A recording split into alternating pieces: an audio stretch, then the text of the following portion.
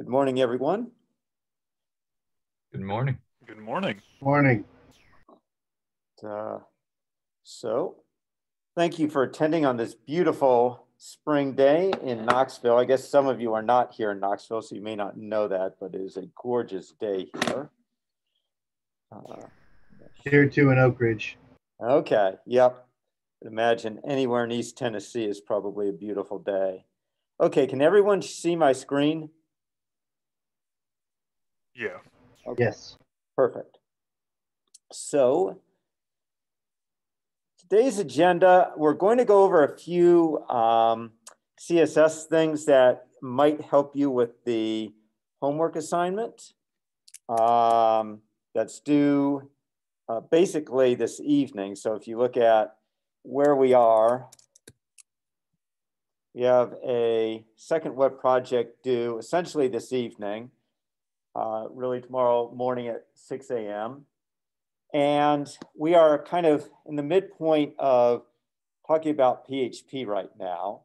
And today we're going to be talking about how we handle forms and do session management in PHP. If we finish early, I may start into the PHP interface to MySQL and regular expressions. I'm not sure um, we'll get that far or not.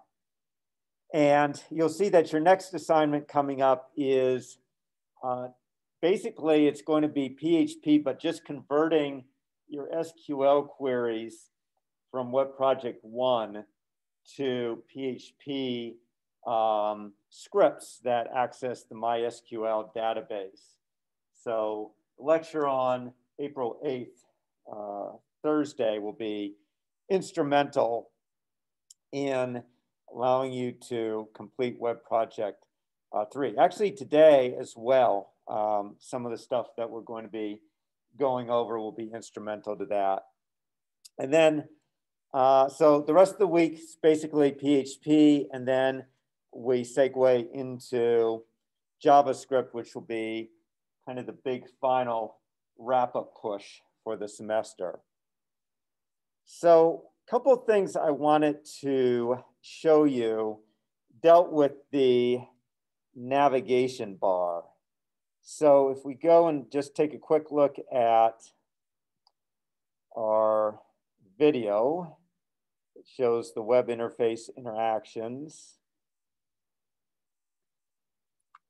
In this video, I'm yeah, going to demo the web. Can you all still hear me? I just muted the sound because I don't want. Am I still Oops, I can hear you, yeah. You email still, address? Yeah, you can still hear me. Good. Okay. So what I want to get. Okay. So first thing you'll notice, yeah, there we go. First thing you'll notice is this is not the drop-down menu that would appear by default. Uh, I want an arrow here as well, it's missing. So um, if you don't know the trick for getting this arrow, you might end up wasting a lot of time. So I'm going to show you that trick. And then when you come down here and you hover over a outcome, it's supposed to turn a darker color of gray. So move uh, Dr. VZ, is it okay? I made it where if we selected it, like focused, then uh-huh. it turned to color. Is that fine too, or you said hover? So um, it should start when you hover, uh, basically. So a second, trying to yeah, where that. Hold on one second, okay? There then is sure. the main page. Uh,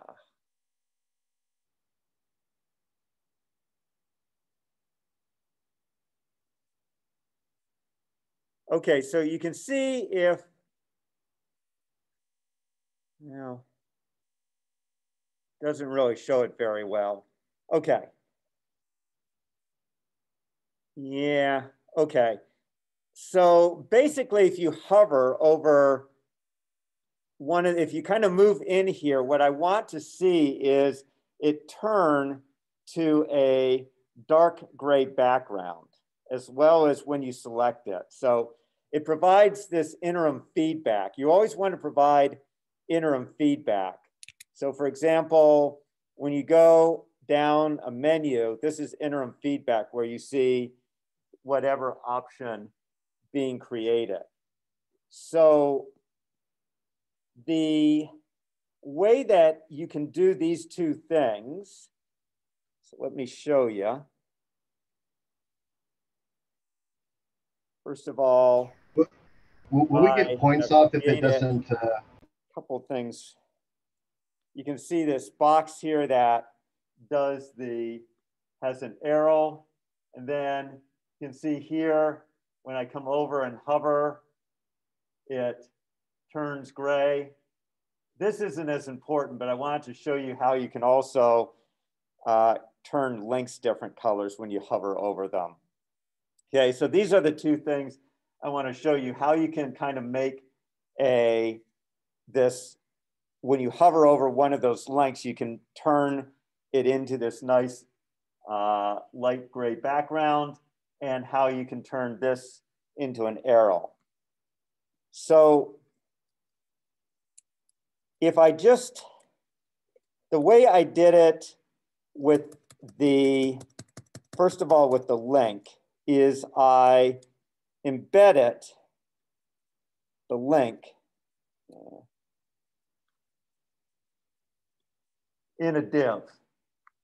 So you see here, div ID equals foo. Then I embedded the link into the div, thus turning it into a block element.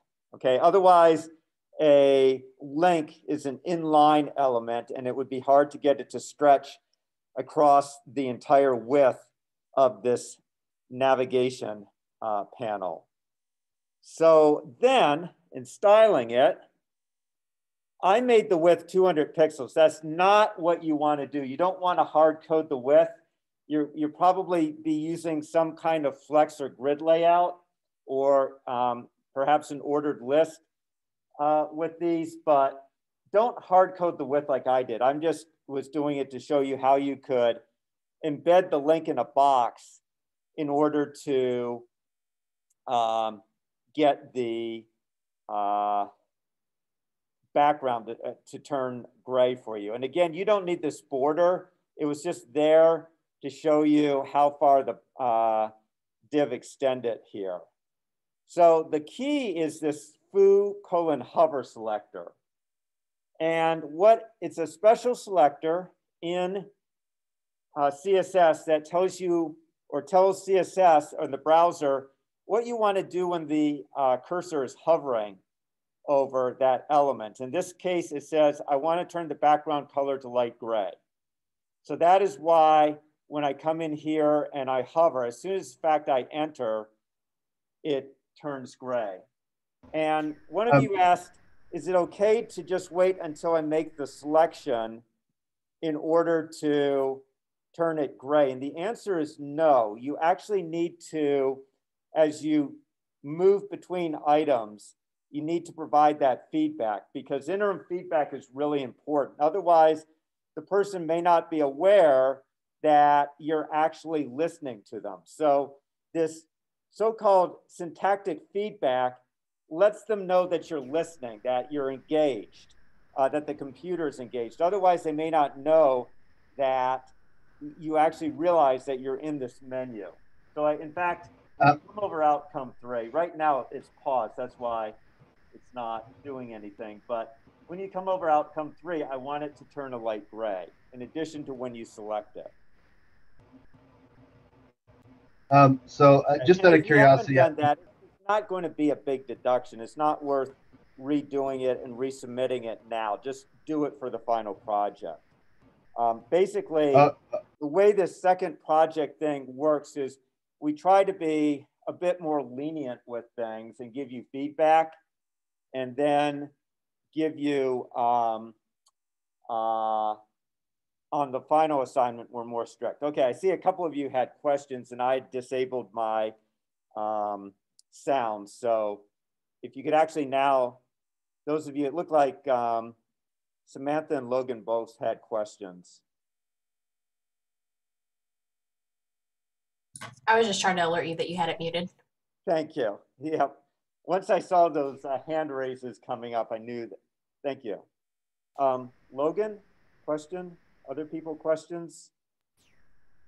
Yeah, I've got I, a I question. Tom, go first. You've had a question for a while. um, well, it, it, it's nothing big. It's just and you kind of answered it. If we didn't do that, because for whatever reason, when I watched the video, I thought it was when you selected it. So I've already turned mine in for that extra early bonus. Right. It's not um, worth it. Like I said, we're going to be pretty lenient this time. Um, it, not super picky uno. Um, so we'll be giving feedback. It's only when you start missing big stuff that we're going to take off major points for this one. So it's going to be the final assignment where you really have to worry about getting these details down. So don't sweat it um, for this first one. Don't don't resubmit. So okay, and, and, you don't care if we like fancied up the buttons, like change no. the colors or when you're going over, just as long as it didn't have to match yours 100%. It's just you make it depends how different it is. Um, the thing is, is there's certain things that we like. I intentionally made it white on blue to make it a little more difficult. So, well, I, I did make it white on blue, but what I did is when you click it, it turns like green on black. Okay. Just to say that's that you clicked it. Yep, that's good. That's fine. Yep. As long as it's pretty close to what I did. The problem is I'm not grading it the TA is grading it, and it's hard for me to. For those of you who are fans of Star Trek, I can't give a mind meld with the uh, the Spock mind meld with the uh, uh, TA. So um, if, if, you get um, a lot of points deducted, just let me know and I'll take a look. Okay? Because okay. I don't want to discourage your creativity. All right, so, thank you. It sounds good. Other questions? Uh, I have one. Mm-hmm. So I know you said that um, it doesn't have to be 100%, but last night I was working on it and um, I'm just very curious to know how you made the text um, on this web page look so good. Because mine, like if I don't mess with anything, it just kind of, the text looks wiry and not very good. But if I increase the font weight to like 600, it just, um, it, it it looks like it's too bold. Okay, you mean like for the results and the assessment plan? Or... No, actually, I'm talking about like, please enter the number of students. So I think I was just using an Arial font with that, with okay. um, a certain font size. So it, the key, it's an Arial, I'm pretty sure it's an Arial font that I was using. Okay. I, I did that as well. Um, as long as you did that, you should be okay. Um, I don't don't think I did anything other than that with it. Okay.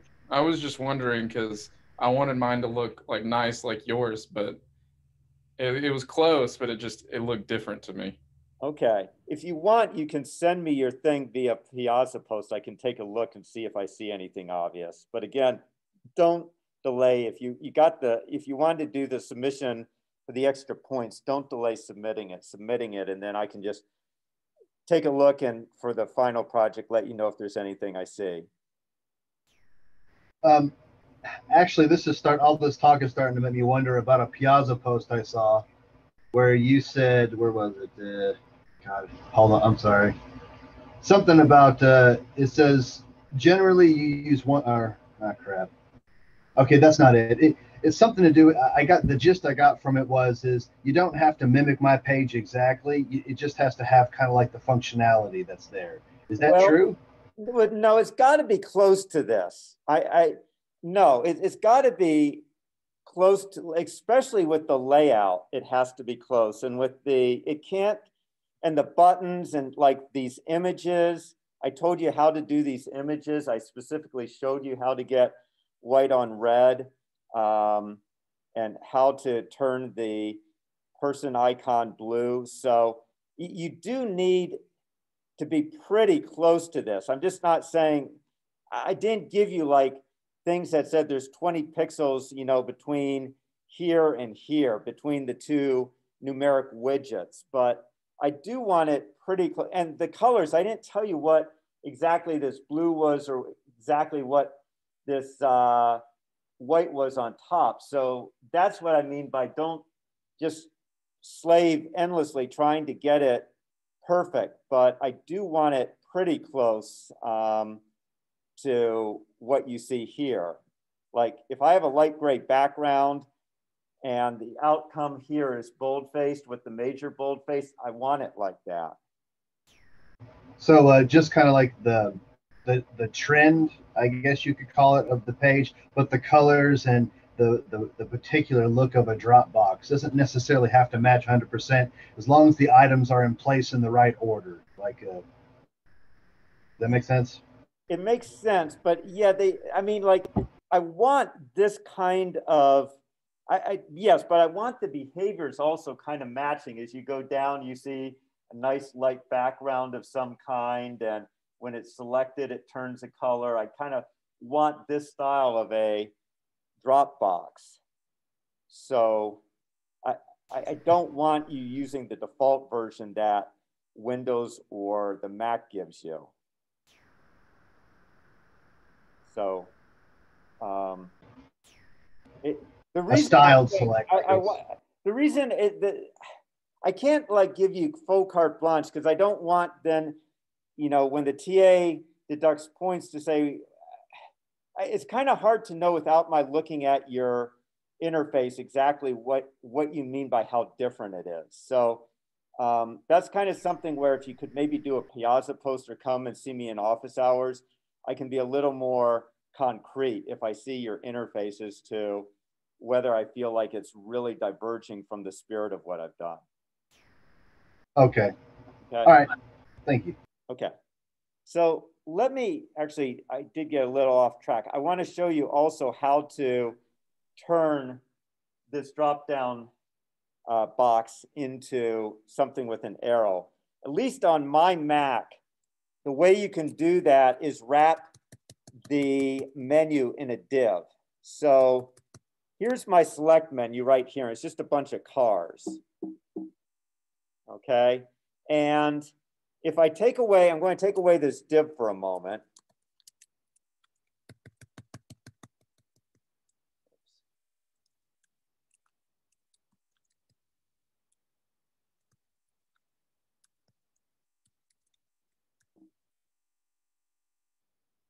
Sure, I actually wrote it. Okay. And I am going to,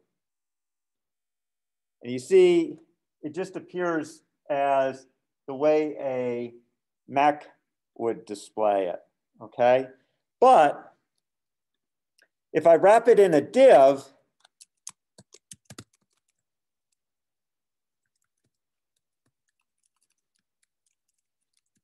like this, it changes to this drop-down arrow. Now I did some other things in addition to that div. So if you come up here, um, you can see that I called the div custom select. So I um, set the background color for that uh, um, select for that um, for the select to be white. In fact, these two are doing the same thing. I think, let me just get rid of this for a moment.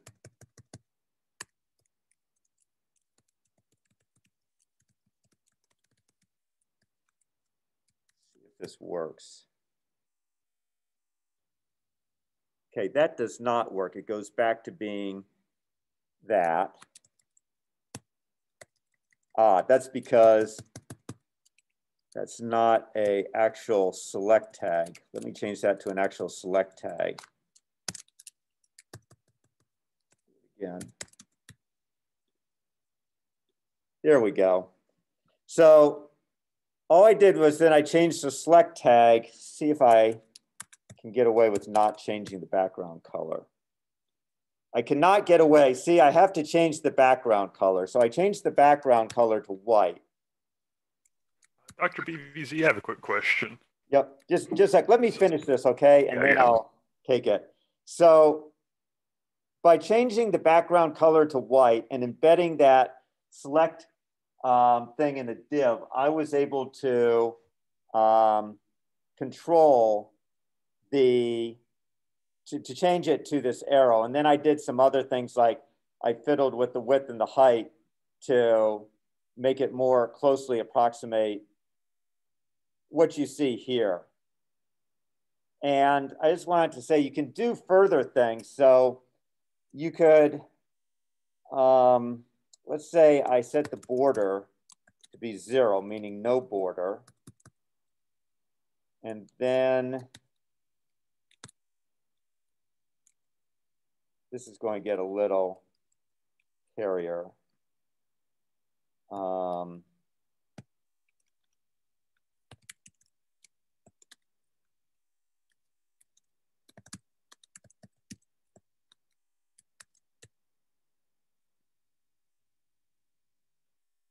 See, I can now change the border. You, you don't have to do this, but I am just showing how you can do some of this. I could make it round it. And for some reason, it seems if I just do it um, instead, down here, for some reason, it doesn't seem, at least when I was playing with it earlier, eh, it worked. Okay, so it may be that you can change the border there too.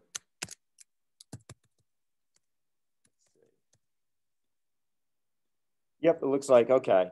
So you can also just play with changing the border, changing the radius. I, that's not part of it. I just wanted to show how you could do that um, without uh, doing a lot of fancy footwork because I went back, looked at some of the assignments from last spring, and people were doing a lot of fancy stuff to try to make um, this drop down menu look like this. And you can see even on this project, they were missing the down arrow. And it turned out it's just, it's really a fairly simple thing to convert it. You just, as I say, you embed the select element inside a div right here. Here's the select element embedded inside a div. And then it seems to work with changing uh, width, height, everything seems to work from there. Okay, just make sure you set the background color to white. Otherwise, it still stays with the default look and feel. Okay, questions? Now someone had a comment. Yeah, I had a quick question. So I'm testing on Windows, and that's really all I have access to. I don't have a Mac or anything. So, and I'm testing on Firefox. If say there's like when you all load it up on a Mac, and there's some OS override that I don't know of on Mac that messes with my CSS some, will I be like docked for that, or Probably, and then just send me some email and say Okay. and show me the screenshot, okay? sounds good? because it may well be that I don't know which actually laptop Baskar has. He's the one grading it. He may have a Windows laptop for all I know. And it can get browser specific too. He might be using Chrome on Windows and you're using Firefox on the Mac. So you sometimes can get those um, both OS dependencies and browser dependencies. So Right? if Yeah. it comes out, you get points taken off, but your thing shows it right. Just um, actually, the easiest thing to do first is send Baskar a screenshot, let him know. And if you don't get satisfaction, then we can talk, okay? Sounds good. Thank you. Welcome. Other questions? Okay, I can add So- some context for why that background color works. okay. Can you? Thank you. I'm not, because I have to admit, I was just blindly experimenting. Yeah, the uh, browser adds the the default arrows that were there with the blue with the white up and down arrows. hmm That's added by the browser using a background image on the thing. Okay. When you override the background properties, it it overrides their provided. Ah, and so then it fell back to a default. So how can Yeah. it fell back to a default arrow down like that? Do you know? That's that- like that kind the of Surprise. that's like the default elements of the select. So it's different than the background of the select. It's like a actual sort of element inside the select. Gotcha. Okay. Very good. And actually, So uh, can I take away just a sec? I want to see if I can now take away that div because it seemed like I needed that div as well. It, for some reason, that seemed like magic sauce. Um, well, maybe I didn't need that div. Maybe that's is just changing that background color. Might have been done the whole trick. Okay, thanks for the um, context. I appreciate that. Other other questions or context? so the video shows no down arrow, but you want a down arrow. Yes. So this is the, I, I had to pick a project to demo, and this was the best project. This was the one flaw, was it was missing the Um, arrow. If you've it already okay if we did it without an arrow, don't worry about it. What if our arrow doesn't have gray on it? That's okay. okay. Okay, that's fine. It sounds like we should just not worry too much about styling it. That like just let the browser style it for the most part, right? Yes, that's right. Basically, um, as long as you set, I think, the background color to white, I think you'll get pretty much the styling you need. Other than it looked a little small, I, I'd like you to punch up the size a little bit. Um, if you use the default font size, it comes up looking a little uh, cramped, in my opinion. So that's Regular select, Pardon? and I was able to style it. I, I changed the font family, basically font size. Um, maybe pump it up a little bit, like say 150%. That was, to me, the biggest. Otherwise, it comes out looking, you know, play with it a little. It just seemed too small um, at, a, at the normal um, size. It's, I hate to say it, for my aging eyes, this is a little hard to read. So just a little bigger than that. And you can see here it's a little bigger than that too. I think it's like a 16 point font maybe. Um, Dr. VC, uh, just out of curiosity, uh, I, I, I'm a, sorry if I missed this. Why did you Why did you feel uh, that that we had to put the select in a div? Because I was able to style just a That- regular that's old what I just um, I I just actually did it myself. I just took away the div and it worked. So oh, it might have been oh, that okay. the secret sauce was changing the background color to white. And it just may have been that I, I took this originally from uh, the W3 Schools website where they created a custom drop down menu and they had wrapped it in the div. So I think what happened was I wrapped it in the div, turned the background color to white, and didn't realize that the magic sauce was turning the background color to white. I thought it was embedding it in a div, but it doesn't look that way because I just removed the div as well and it was still working. Okay, I thought that was crucial for something that I wasn't seeing, so I thought I'd ask Um, again. I thought Okay. it was, but it appears not to be. Okay, whereas I do think it's more crucial um, on this link.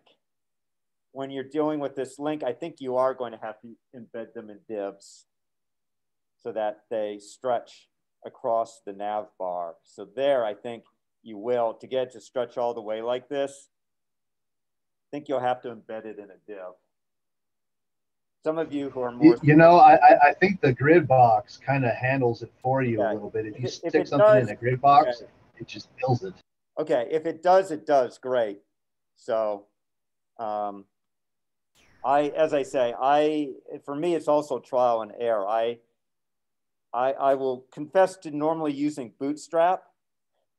And uh, that's why the style looks like Bootstrap for those of you who know it. So I myself am guilty of not um, always doing stuff at the kind of base level of CSS. So I'm reduced to some experimentation just like you all. So that's how I could make it work, but maybe the grid layout makes it work perfectly anyhow. Okay, actually, one small. oh, one final question, then I really need to move on. So um, I know for the select we use uh, like the drop that we for the drop down menu on the left we use a select. For the drop down menu in the top right, though, where there's the like uh, little person icon and the arrow, would that be like uh, the more complex like JavaScript drop down menu or select as well? Um, let me check after class how I had done that. I think you can still get away with using a select for that, but I must admit I'm not 100% positive. Okay, I just remember in the video it seemed like it had some styling on the actual select options. I'm not, I wasn't aware of how to do that, um, so I figured it required maybe JavaScript. If I didn't implement that, fine. Uh, it, it, it actually doesn't. I was able to accomplish it with A links or whatever, and I made it. You had to use positioning and like absolute and you had and then you had to shift those display was none so they would disappear but when you clicked on it for focus the display became a block and that was the only change. And then you shifted where that list was. Okay. And so because because the position is absolute it stays with that element no matter where it is on the page. And that's how you keep it locked in. I had to figure this out through another website. Okay. I for this assignment, you don't need that behavior. That's for Web Project 4. Okay, but, awesome. I thought it might be like that, but I just wanted to check in case. okay. Um, I will check. oh, check. Crap. And the person that. who just uh, spoke up, I can't actually see it. Could you maybe make a Piazza post where you just explain in general terms, not, you know, a specific recipe, but if you could give like a general um, set of instructions for how you did it. I think that would be helpful. Okay. Yeah, I'll make that post. Okay. Thanks. Okay. Um, if you have other questions, I can handle them after class because um, I did know that I probably didn't have a full lecture today, but now I'm down to 45 minutes. So I'm pretty sure I now have a full lecture. Um, so what I wanted to cover was PHP form handling and uh, uh, session management. So the just a quick uh, review of um, HTML forms. So you have a bunch of basically, uh, let's actually look at a form.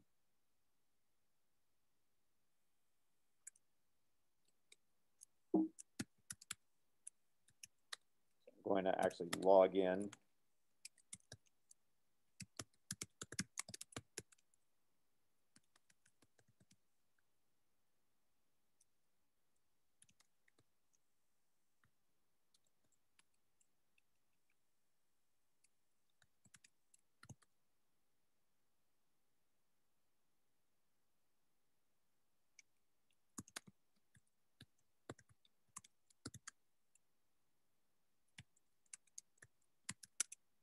Okay, so quick review of forms.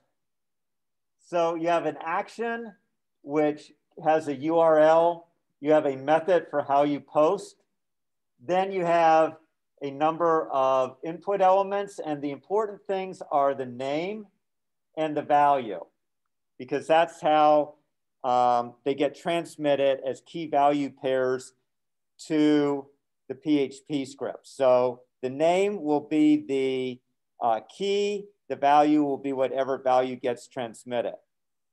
And typically you have a submit button of some type. And when that submit button is hit, then uh, the browser packages up those uh, name value pairs into um, some kind of encoding that's dictated by something called the Common Gateway Interface, uh, CGI. So Common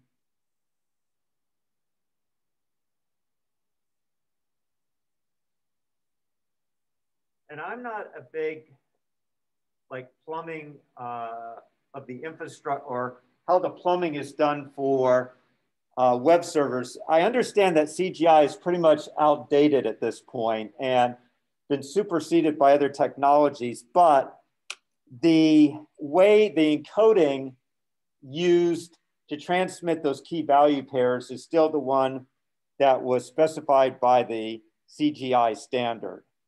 So um, when my notes say, talk about the common gateway interface, it's mostly with regards to how these name value pairs get packaged up and sent to the servers. You don't have to worry about it.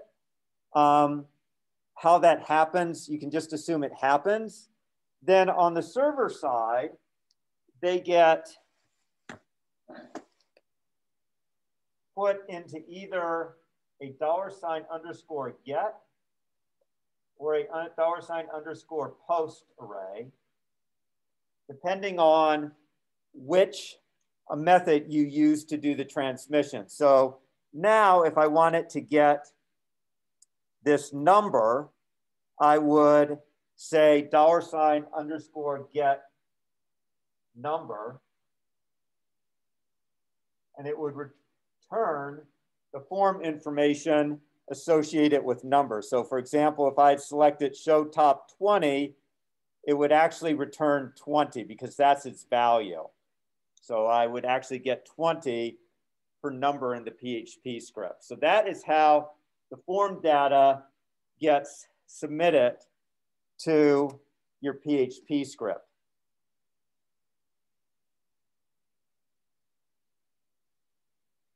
Now, there's a few things you have to worry about then once it's been uh, it. So the, let's see. Okay, uh, first thing you'll notice here, you could have multiple options and that comes in as an array. So uh, if I did a selection for um, top from get, then I would get an array because there are, it's indicated that multiple selections are allowed. And even if there's only one selection, it will still come in as an array. Also, you may remember last time I was talking about how you simulate um, the submission of form data. So just once again, the way that you do that is with the program PHP-CGI, which is, may not be available on your local machines, but is available on the Hydra Labs. So again, it's PHP-CGI dash CGI, then the name of your script, and then whatever um, your name value pairs need to be. So for example, you might say comments equals hi Brad. You might say quantity equals 10. Notice you don't need quotes if you're not, if you don't have white space in there. And then if you want to have arrays, you can do that by putting the arrays in the name of the arrays. Whoops. Eh, what just happened? Something went way off. Huh. Way off. Okay. So do it again. If you, you want to specify something for arrays, you put the array name with the empty braces in quotes like that, give it the value, so equals hardworking. Then again, gosh darn it.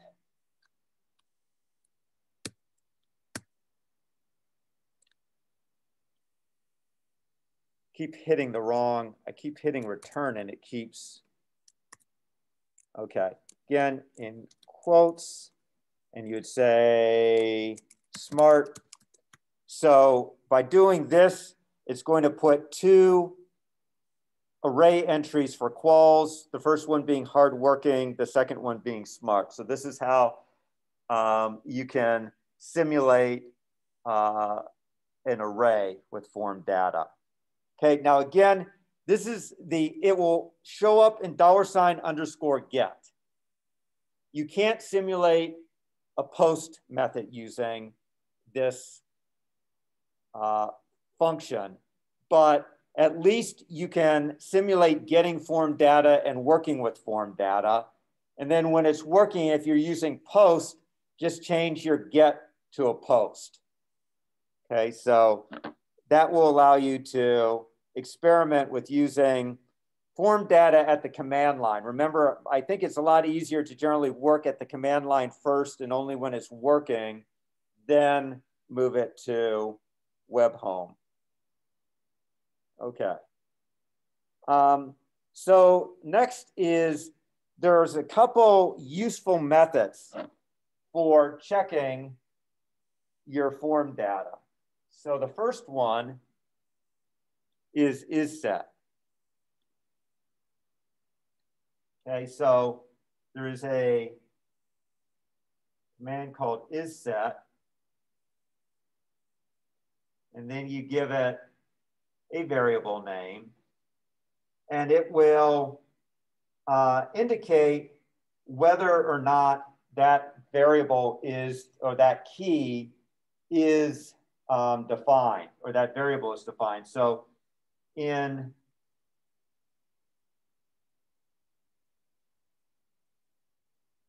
your thing, you can do something like is set underscore dollar sign get age. And this is going to return true if the um, variable has a value, which can include zero or the um, D or an empty string. So returns true.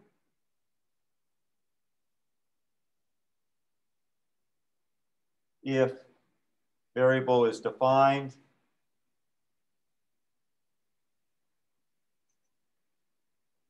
okay? Um, and will work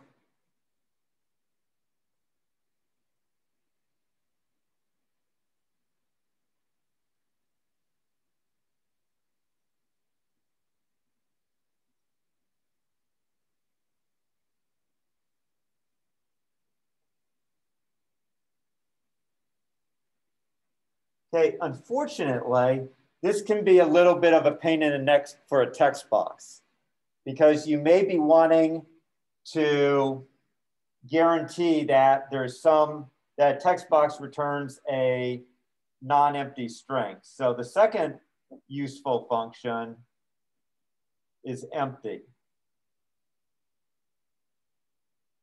Same thing. It can it takes any variable, including a dictionary post. And what it's going to do is it returns true if the variable is zero or an empty string.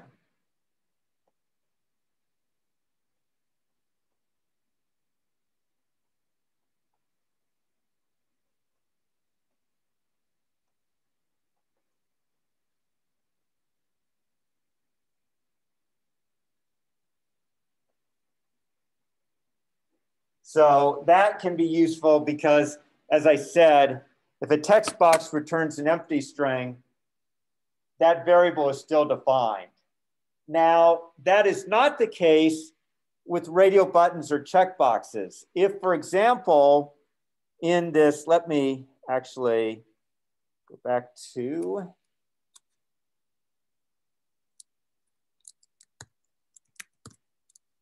here. If I don't check any of the checkboxes, then top will not appear in the submitted form data.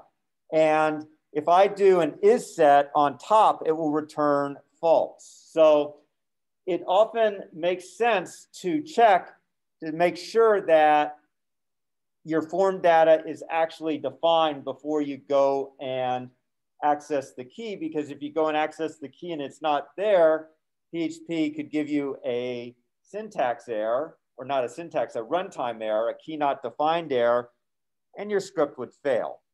So these two functions um, is set to ensure that a piece of form data is there like you expect, and this empty to check if you have an empty string can be useful. So as far as I know, it's only checkboxes. Um, I think selects, select menus, anything with a choice. If that choice is not present, then that name value pair may be omitted from the form data that gets submitted. So that's why you'd use is set.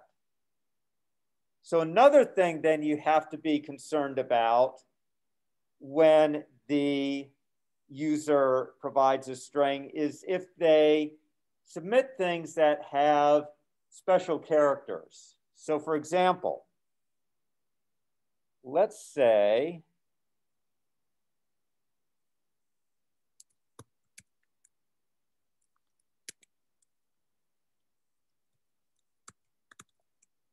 Okay, so here's a very simple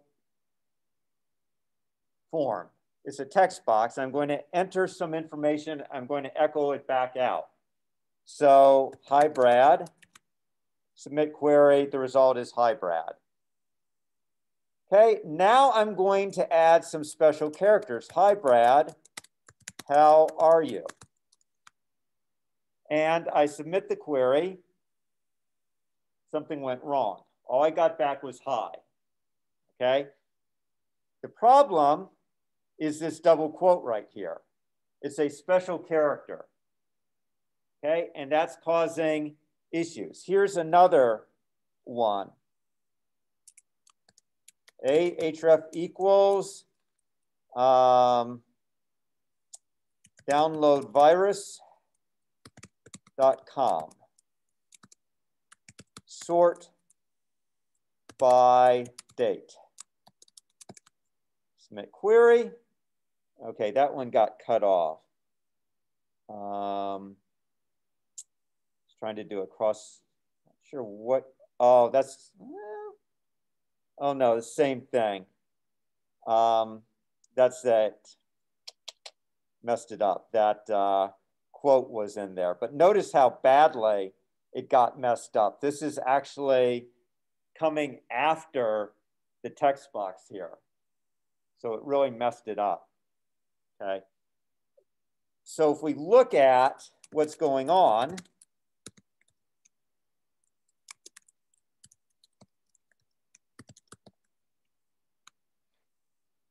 Uh, all I'm doing is with the form, I'm taking what I get and I'm just blindly putting it back into comments. Well, you'll notice I'm interpolating. So I have value equals this double quote. And then dollar sign underscore get, what happens is when I put a quote here like, hi, Brad, this double quote right here prematurely terminates this value statement right here.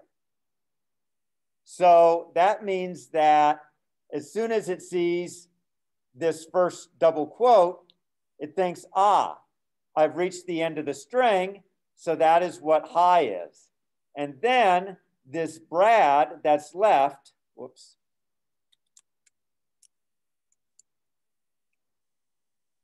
is free to do mischief. Okay, so in this case, uh, when I submit it, it just ate it. But in the other case, it somehow managed to trick the um, resulting PHP script into thinking that something went beyond the text box. Somehow the um, it, it, it actually added text beyond here. So you need to be able to deal with special characters like double quotes. And the way you do that is there is a function called HTML entities.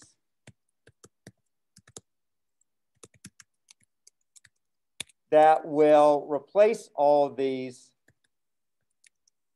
special characters with their corresponding entity codes. So now if I do it, you get the full result. Okay, if we look at exactly what's going on, let's run it using the CGI.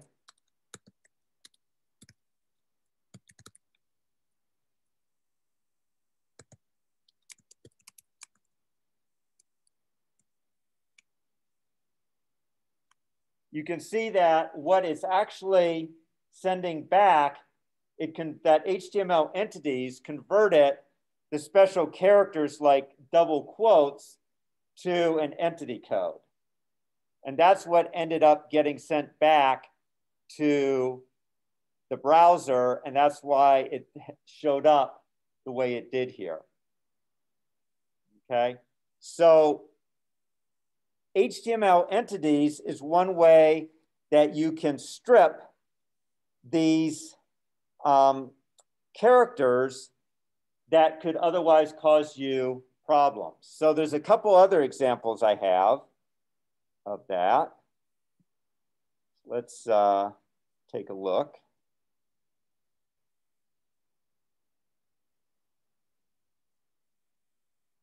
So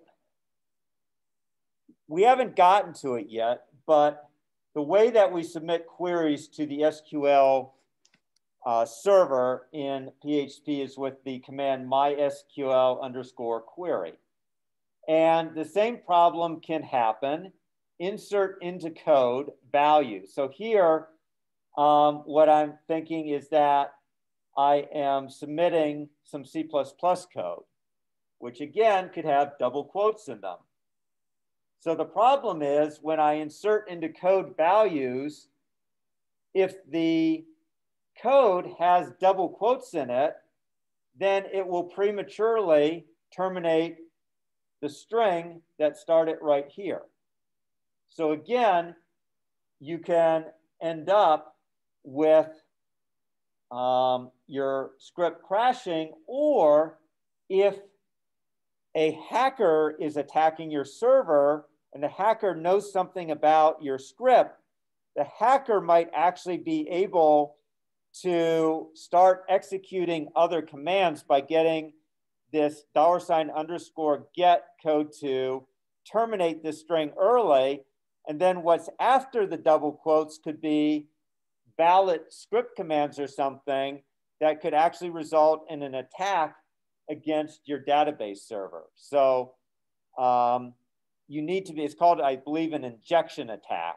I'm not a security person, but I think it's called an injection attack where you attack knowing that by terminating early this double quote, you can then get your own commands executed instead. Okay, and then the final one example is something called a cross-site scripting attack, which I believe I had in the notes. So let's go to the notes.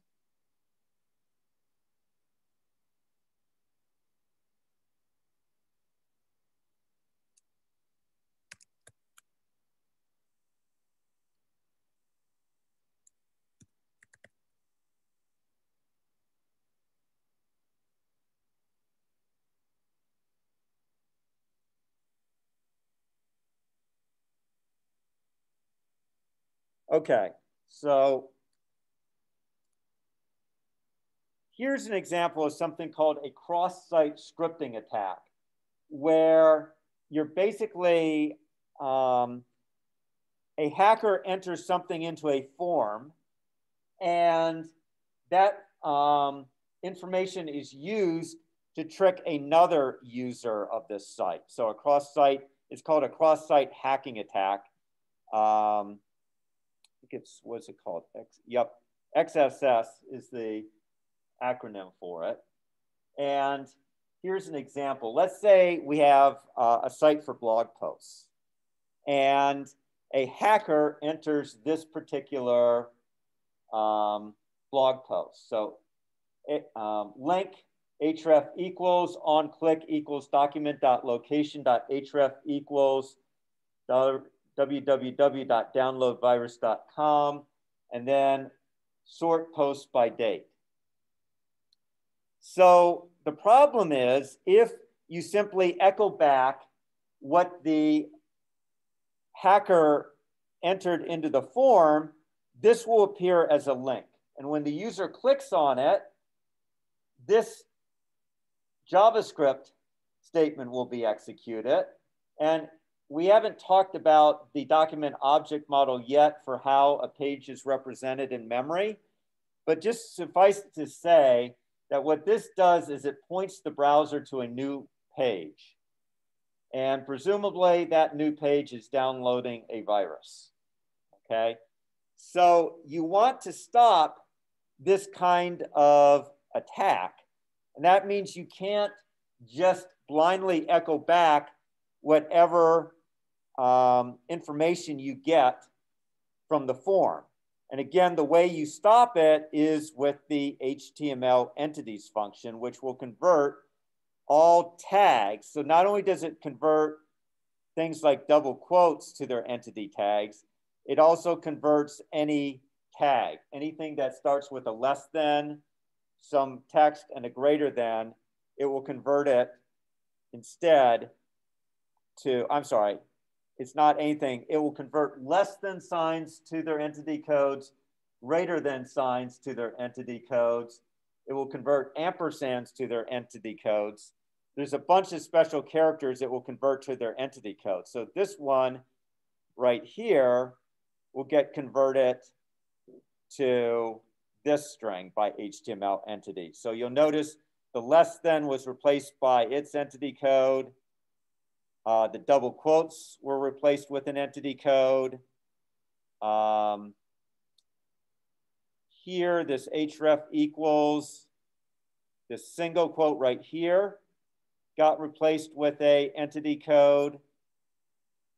Um, and then down here, the closing quotes, whoops, closing quotes were also replaced with entity codes.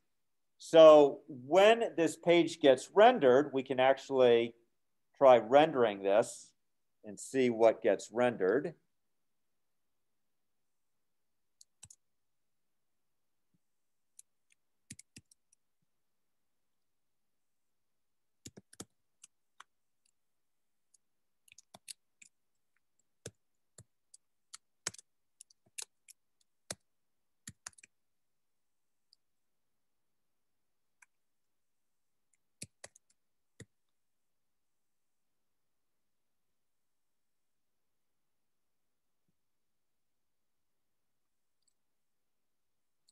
So you see, it basically looks like what the hacker entered because all those entity codes now get rendered like the um, ampersand LT semicolon gets rendered as a less than sign. The uh, ampersand QUOT semicolon gets rendered as a double quote. But notice this is not appearing as a link. Instead, the, what the hacker tried to do is revealed. Okay. So you need to be careful about, it's called sanitizing your data. This is called sanitizing the data. And it means basically um, stripping or and or converting special characters to entity codes to stop them from affecting your program adversely. Okay, and the big one for that is HTML entities. That's your uh, number one one that you end up using to do. There's a couple other ones that are nice. So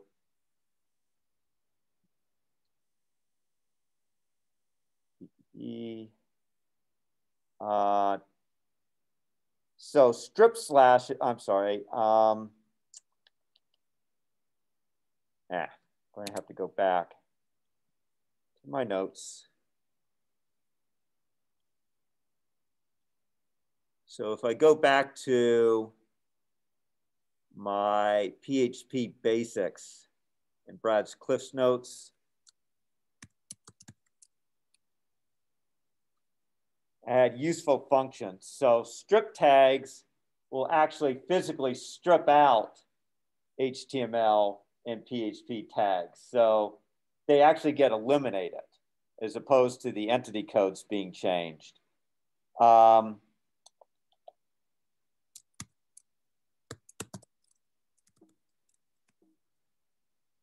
on where is HTML entities?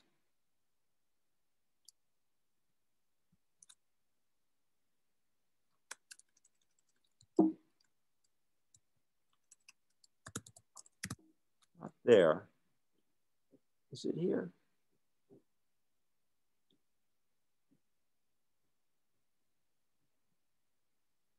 There we go. Okay, so other things, commands, add slashes will replace single quotes, double quotes, and backslashes with their escaped equivalent. So if you call add slashes, a single quote will be replaced with a backslash quote. A double quote will be replaced with a backslash quote. So you can use that if you want to insert a string into um, database. Remember that code example I gave you where you were reading in C++ code from a form, you could call add slashes on that code element and it would backslash all of the double quotes and take care of the problem. HTML entities tends to be my go-to function for um, sanitizing data. And then you can decode it. That is, you can get the original string back by calling HTML entity decode, which will replace all the entity codes with the actual characters. So um, it turns out that you certainly wouldn't want to do that with a cross-site um, hacking attack. You want to uh, sanitize that string I showed you with the link, but with code that you're sending back, you don't want the double quotes to be either ampersand escaped or with a backslash in front of them. So if you had changed your C++ code using HTML entities, when you served it back, you would want to call HTML entity decode, or you would want to call uh, strip slashes if you had originally added slashes to the double quotes. So there are ways of reversing actions that you sometimes take. Okay, and then another useful function that I sometimes use, new line to BR, it replaces all backslash ends with the um, uh, break tag. So sometimes you've output stuff using backslash n, which we know doesn't work in a browser, and NL to BR will replace all new line characters with the BR tag. So I find some of those functions to be helpful.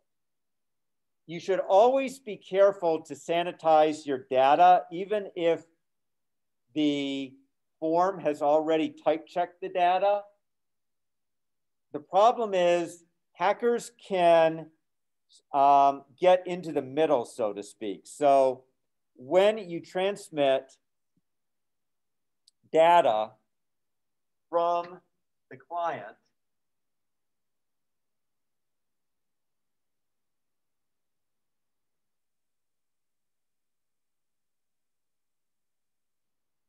hackers can attack right here.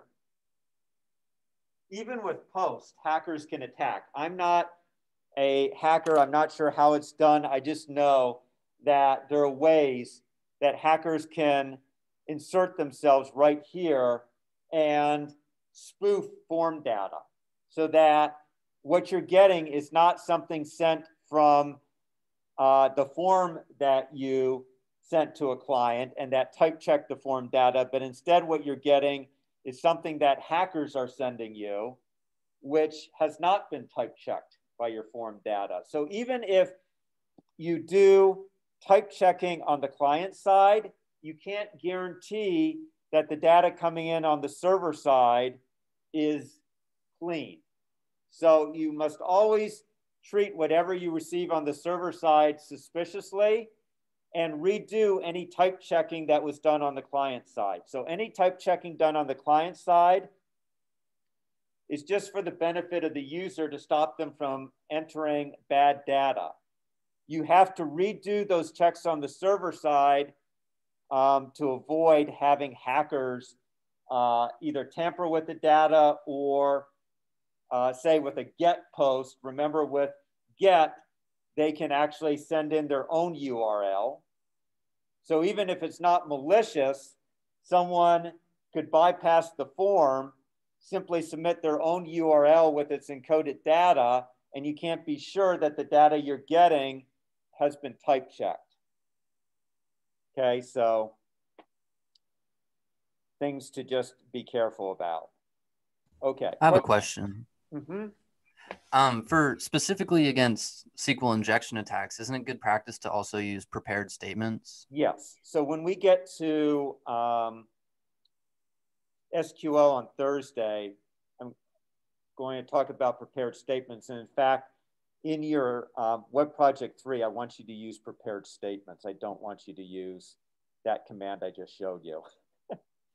I was just trying to show you that it, the reason that they introduced prepared statements were, as you say, to stop those injection attacks. And also, quite frankly, just to stop stupid um, mistakes on the part of people um, getting form data in and not realizing how that form data could mess them up. So yes, definitely for Web Project 3, I think it's even in there, it says you have to use prepared statements. Other questions or comments? Okay. So our next topic is session management.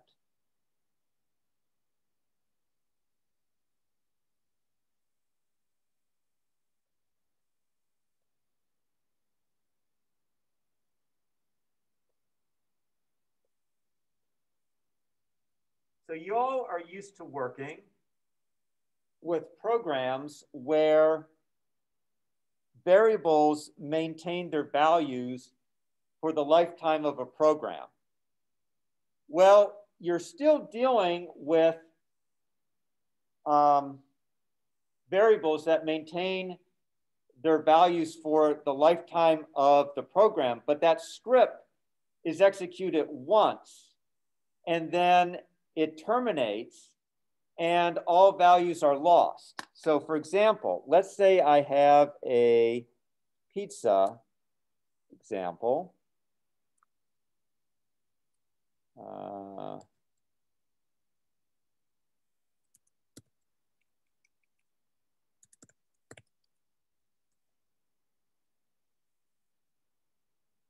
uh, didn't want that.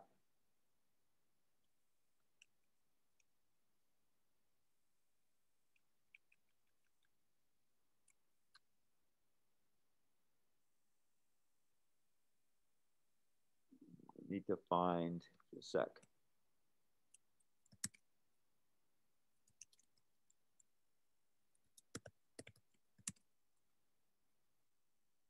There we go.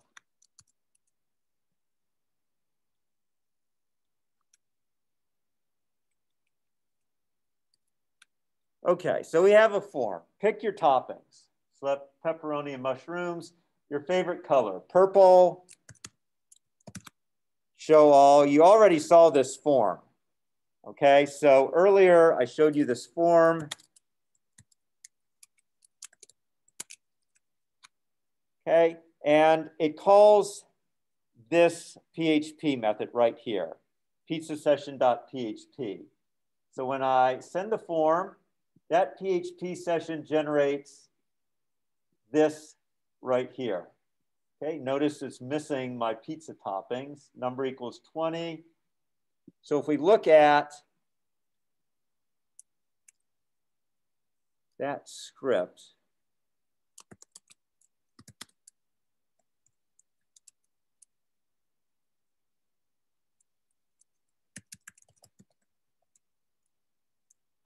Okay, so I'm going to have to fix the fact that the toppings didn't come out properly. But you can see it says for each topping, it's supposed to print it. It echoes out um, my favorite color. It echoes out number. And then it echoes out another form with the action PHP session one.php type um, equals submit, value equals press to reconfirm. Okay, and the problem is that this dollar sign get stuff is lost. when the script ends. It no longer is defined, but we want that information to be available to this script right here. So the way we can do that is with the command called session start. So what that does, if you already have a session started, you now get access to this array that is carried or available between different web pages. Okay, so if this one has already been set up by a previous script, you have access to whatever it's set. If this is the first time that it is called in this interaction, then it establishes this dollar sign underscore session array. And it also creates what is called a session ID.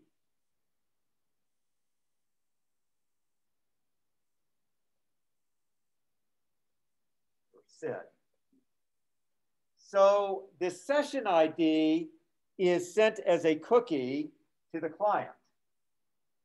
We haven't yet talked about cookies.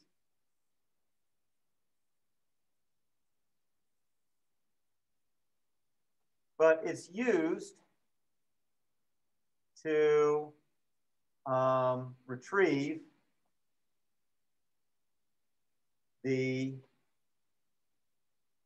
underscore session table for subsequent interactions with the client.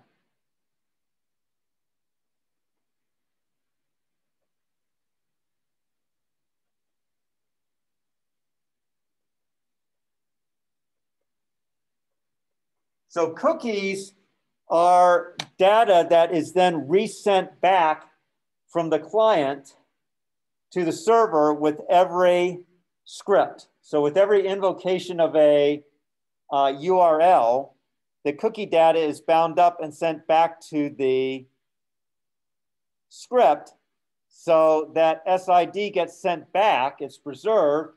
And the first thing that happens with session start is it checks if the SID already exists, it uses it to find this dollar sign underscore session table. If it doesn't exist, it creates a new dollar sign underscore session table and a new SID and ships it out to the client. So here you can see the first thing I did after calling session start was I actually saved the form data into the session variable. So that then when I end up calling this PHP session1.php,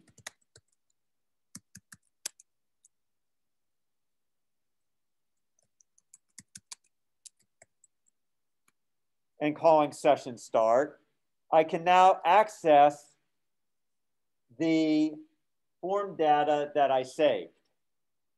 Okay, so when I hit my press to reconfirm, it was still favorite color purple, number equals 20. As I said, I have to figure out why um, the toppings is broken. But the dollar sign underscore session table is basically the way that you save data between different scripts because you are no longer running a monolithic program on the back end. Instead, you are running a series of independent scripts that are each in a different file and hence are a different program. So what you're having to do is find a way to share information between these independent programs. And the way you do it is with session management. So on Thursday, I will continue this discussion of session management. There turns out that this is the most common way to handle session management, but cookies, hidden form data, and um, database management of the session information can also uh, be used to do session management. So um, we will get to the remaining uh, part of session management on Thursday, and I will figure out why my toppings were not coming out here, and I will get that fixed. Um, and with that, I will let you go. I will see you all Thursday. Reminder, I have office hours starting today around 2.35, going till 3.45. I'm also available here for a few minutes if you have immediate questions. So with that, I will see you all on Thursday and let you go.